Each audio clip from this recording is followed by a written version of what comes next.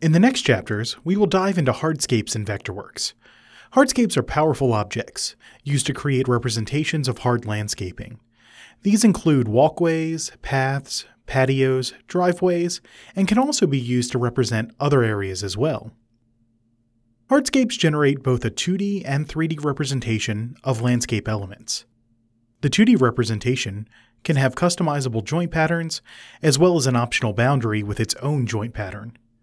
The 3D representation can be a simple slab or used to modify a site model as a pad or texture bed modifier.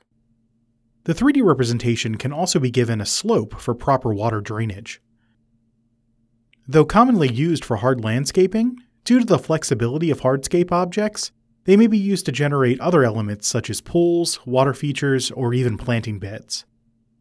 In addition to the graphical elements, hardscapes can be used to keep track of the material used for the design and help with costing by utilizing the reporting functions within Vectorworks.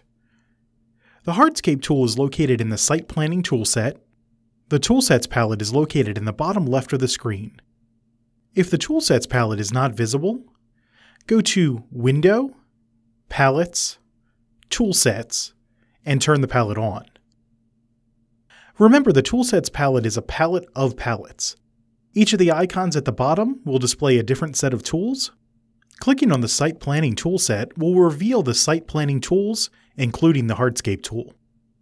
Hardscapes can be generated directly using the Hardscape tool or quickly created using existing 2D objects using the Create Objects from Shapes command. Once configured, a hardscape style can then be saved for later use. The saved hardscapes can be added to a favorite file for quick access when working in other projects. In the next chapters, we will go through the creation and settings of hardscape objects.